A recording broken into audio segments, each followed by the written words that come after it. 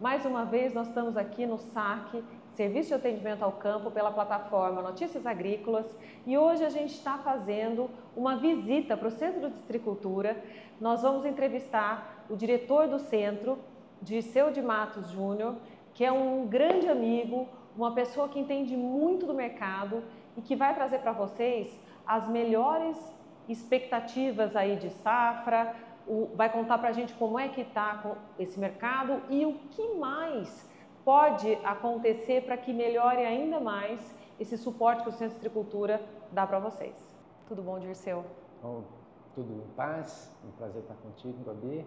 Muito obrigada por ter aceitado o nosso convite aqui do SAC, para a gente falar mais um pouco desse mercado que a gente adora e que nós estamos aqui tentando entender, fazer o produtor entender, as pessoas comuns entenderem, um pouquinho dos citros. Então eu vou começar com o básico do básico. Você que está inserido nesse mercado há tanto tempo, o que, que a gente chama realmente de citros? Bem, os citros são formados por diferentes frutas que têm características similares. Então, as laranjas, as tangerinas, os limões, que hoje nós encontramos como os limões de casca amarela, e as limas ácidas, que é aqueles que nós chamamos de limão Tahiti, limão galego, e disso temos mais algumas outras variedades que juntas se formam os citros. O maior mercado de citros hoje, ele está situado aonde?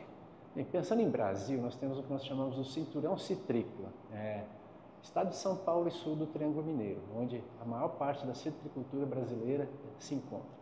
Contudo, a gente tem já hoje, até em função de uma conjuntura é, do negócio, nós temos citros no estado do Paraná, nós temos citros no Rio Grande do Sul, no Minas Gerais e em outras regiões. Nós vamos para Rio de Janeiro, nós vamos para Sergipe, Bahia e alguns outros estados que agora começam a entrar também nesse circuito. Joia. E essa expansão está se dando é, devido a, a, ao mercado estar tá aquecido essa, ou porque realmente a gente está falando aí de, de, de, uma expansão natural que acontece dentro uhum. dos. Bom, saindo do, é, do, cinturão citrícola, né, nós tínhamos uma citricultura já mais estabelecida, antiga, Bahia, Sergipe, Paraná, Rio Grande do Sul e São Paulo.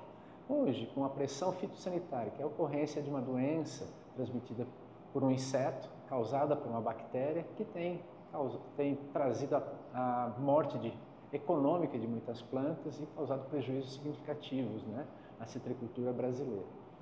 Ah, o negócio está se expandindo ou está se movendo ainda em passos módicos para outros estados onde nós chamamos de regiões que a, ou, ou o inseto ou a bactéria ainda não se encontram. Então seriam os vazios fitossanitários, onde que a produção seria mais segura em um determinado momento.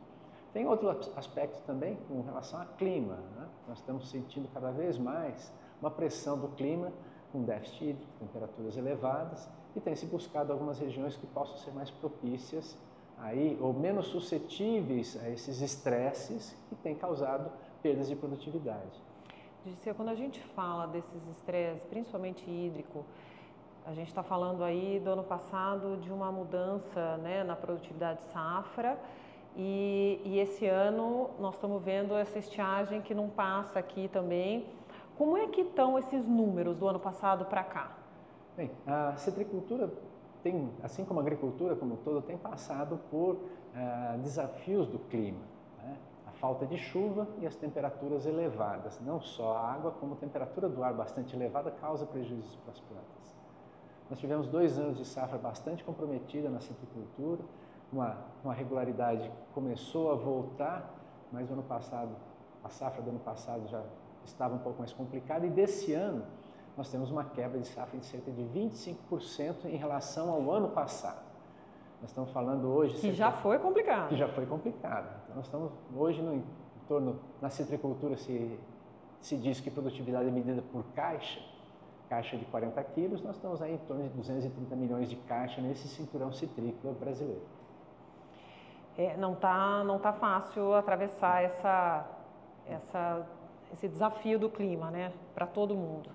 E me fala uma coisa, existe dentro do estado de São Paulo o cinturão cintrícola, né, não só no estado de São Paulo, mas existe aí uma, uma, um pedaço desses produtores, alguns desses produtores trabalham com irrigação, fertirrigação. Você sabe me dizer mais ou menos a, a porcentagem desse pessoal? Sim, hoje no cinturão citrícola, né? Como de novo, estado de São Paulo, sul do Triângulo Mineiro. Nós estamos falando aí em torno de 140 mil hectares irrigados, e cerca de 30%, 30 e poucos por cento da, da área total dessa região que está irrigada. Boa parte dessa área irrigada, ela está fértil irrigada. Então são duas práticas que a gente tem como o aumento da eficiência de uso de insumos e uma busca de melhoria da produtividade ou garantia da produtividade quando ah, o déficit hídrico ou até a, a própria adubação tem limitado aí as maiores produtividades. Né? É porque também não é garantia, né? Não é porque uhum. você tem que entrar também Sim. com tudo isso na hora certa.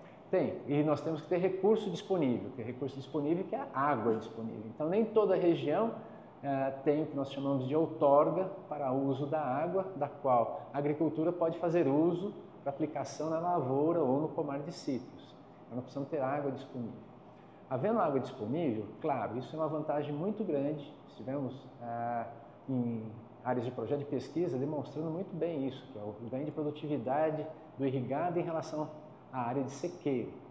É, contudo, mesmo tendo água, nós temos ainda o desafio da temperatura elevada. É o que tem acontecido. Nós estamos passando por um dos invernos mais quentes aí registrado nas Invernos, últimas né? décadas. Né? É, inverno quente que na região sul, na região norte do estado de São Paulo, chegando uh, de 35 a 40 graus, né? Uh, a temperatura do ar durante o dia. E além dessa temperatura elevada durante o dia, que pode causar aí é, a queda de flor de frutinhos jovens, que é o que vai para o chão e não é colhido lá na frente. Nós temos também a temperatura noturna muito elevada. Né?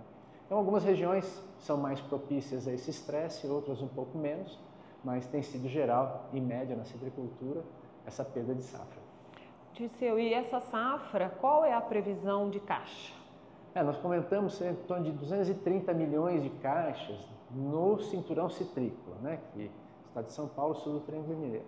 No Brasil, nós vamos ter outras áreas que não estão contempladas no que é o levantamento da estimativa da produtividade de citros, que é feita pelo PES, junto do Fundecitrus. Nós temos outras regiões que elas não estão contempladas nesse número, mas ele é o grande balizador do que nós temos hoje como ah, a produção brasileira e a disponibilidade de matéria-prima para quê? Para fruta fresca e principalmente para produção de suco. Bom, a gente já entendeu um pouquinho aqui do mercado, agora vamos entrar um pouquinho dentro do Centro de Citricultura. O Centro de Citricultura, ele é um centro que pertence ao Instituto Agronômico de Campinas e vocês aqui trabalham com todo tipo de pesquisa voltado para citros. Uau, é isso aí. O Centro de Citricultura é uma unidade do Instituto Agronômico, uma das instituições é, primeiras criadas no Brasil em ciência agrícola, está ligada à Secretaria de Agricultura do Estado de São Paulo é, é o governo do Estado de São Paulo. Como uma instituição pública, tem uma vantagem de ter um, um relacionamento moderno, cuja interface com o setor privado é muito grande. E o Centro de Citricultura se estabelece como uma das principais instituições na área, tanto no Brasil como no mundo. A pesquisa aqui, ela é bastante ampla, nós temos bastante foco em melhoramento genético, que é a produção de novos porta-enxertos, novas variedades de copa, que são novas laranjas, novas tangerinas, novos limões, por exemplo. Nós temos um programa de pesquisa pautado que nós chamamos de Fisiologia da Produção. Quais são as técnicas de manejo que fazem com que o citricultor possa produzir mais e melhor, com maior eficiência e isso de sustentabilidade? É o manejo do mato, o manejo é, de nutrientes, o manejo da fertirrigação, é, que entra a questão da água, nós temos práticas culturais como o manejo das culturas intercalares ou do mato, é, tudo que mexe no ambiente de, de crescimento da planta lá no campo. Também temos outras áreas, né, que são áreas básicas, por exemplo, na biotecnologia, é, que se busca com ferramentas associadas à biologia celular facilitar esses programas de melhoramento que são tradicionais no Centro de Agricultura, dentro da sua história de quase 100 anos de, de tradição. E, por fim, a fitossanidade também. Os citros, ou os pomares, são afetados muito por problemas fitossanitários. Era o caso da, do green que a gente comentou e outras doenças e como que a gente protege essas plantas para que tenhamos a garantia de produtividade alta. Esse é o trabalho, o escopo basicamente de pesquisa do Centro de Agricultura. E é uma coisa que a gente vê, quem está no mercado agrícola e acompanha um pouco a área de citros, a gente vê que o Centro de Agricultura ele tem uma interface muito legal com a iniciativa privada, mas ele traz também, ele tem uma abertura muito grande e uma sinergia muito grande com o produtor. Vocês é, levam esse suporte ao produtor, né? existe essa, essa troca, porque na verdade, no fim das contas, tudo isso é ali que tem que estar. É né? ele que interessa, muito bem colocado. Então, na, dentro do trabalho de pesquisa, nós temos também um apontamento de divulgação da pesquisa. E para isso nós realizamos vários eventos. Entre esses eventos, a Expo Citro, Semana da Citricultura, que em 2025 completa cinco décadas de realização. Muitos colaboradores, colegas com quem eu tive o prazer de, de trabalhar, realizaram isso nesse tempo todo. Então, a linha, a linha de realização ao longo de cinco décadas que a citricultura tem passa por essa organização, transferência de informação. Nós temos também produtos e serviços especializados, que é aquele material genético que vai é, produzir os novos pomares com qualidade, é, alta qualidade genética e sanitária, né? são sadios. E aí, também como serviços de diagnósticos de fitopatógenos, é, também a realização de testes de é, eficiência de agroquímicos ou dos insumos que a gente usa para a proteção das plantas. Né? Então, esse é um escopo e dentro disso, que é o apoio do que nós chamamos de soluções com base em ciência para a citricultura, a gente interage com o citricultor.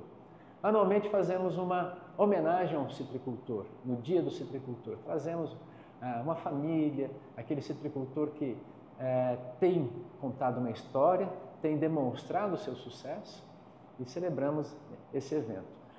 Um outro aspecto que se tornou recente, o centro, falando em sustentabilidade, começou um treinamento com produtores de pequenas propriedades para organização e aí a busca dos selos de sustentabilidade que o consumidor exige. Ah, o consumidor que consome ah, suco na Europa, ele quer saber de que o ambiente de, de produção ele tem qualidade de trabalho, ele tem segurança de trabalho, ele tem proteção de trabalho. E nisso começamos a fazer esse treinamento e vimos a oportunidade. Se nós estamos ensinando, nós temos que realizar dentro de casa. Então, o Centro de Citricultura, nesse contato com esse citricultor, se organizou. Tem também o primeiro selo de sustentabilidade, que é da FSA, numa fazenda experimental.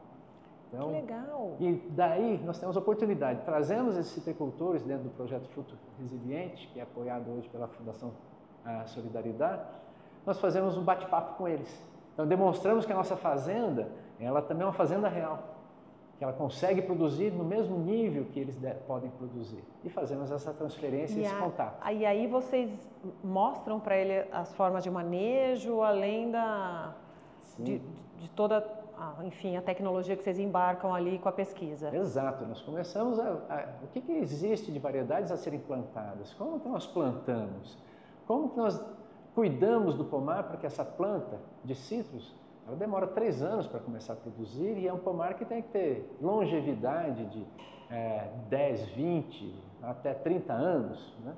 Nós gostaríamos que dentro dessa pressão hoje sanitária que eles durassem 30 anos ou mais. Né? Então a gente demonstra... É o que se espera, né? É o que se espera. Se... Então a gente demonstra na prática como que a gente organiza, como que o trator está ah, pulverizando, como que é o depósito defensivo, quais são os apontamentos que ele precisa ter, quais são os processos de adubação, de poda, de cuidados, né?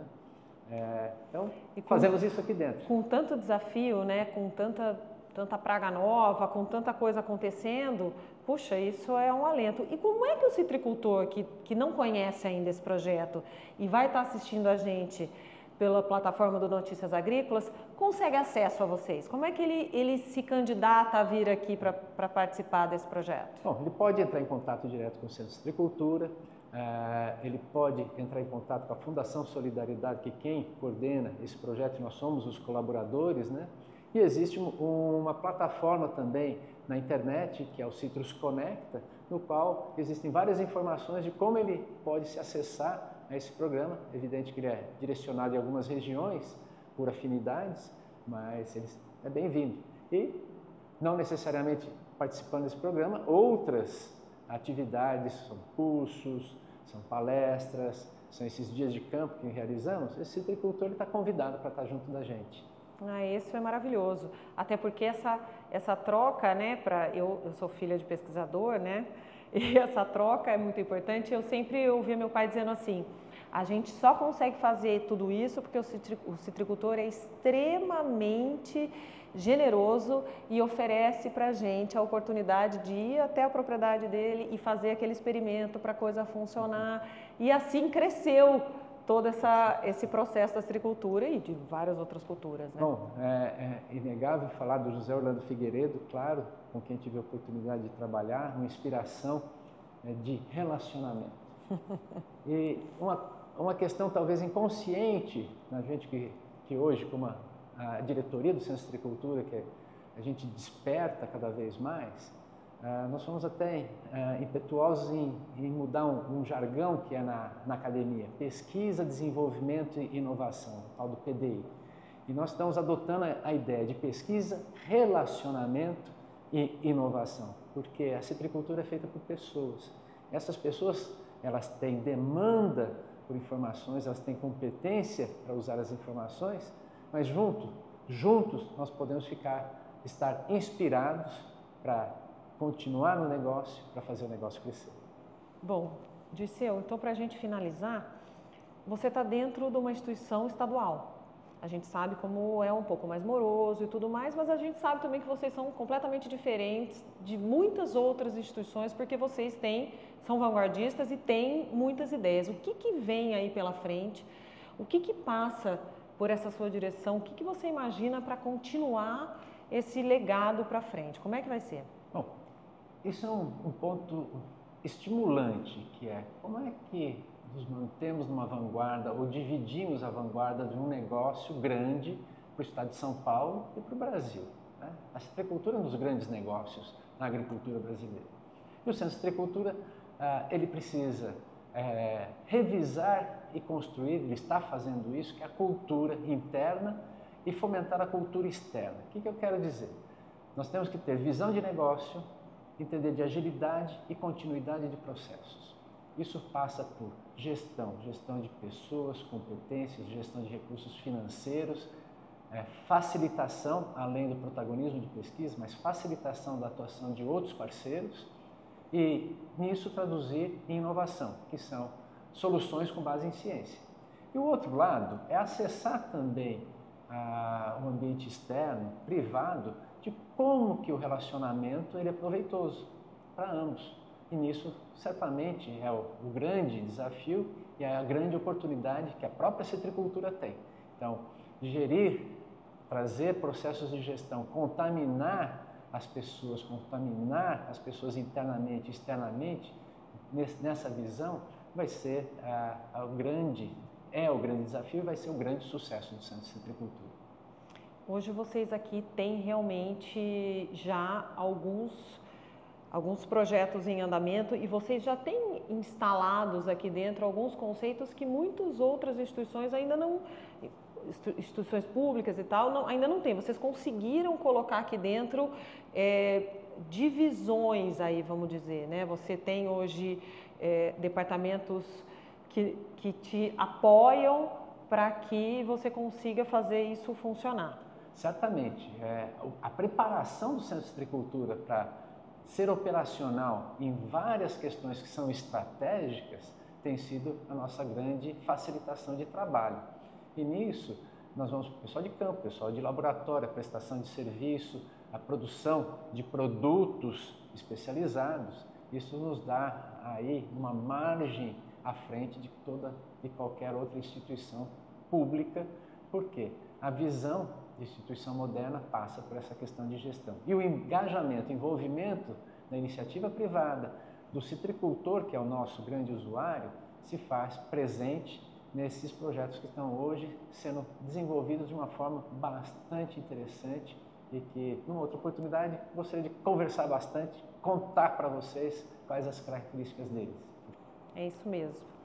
Ai, disse obrigada. Era tudo que eu precisava.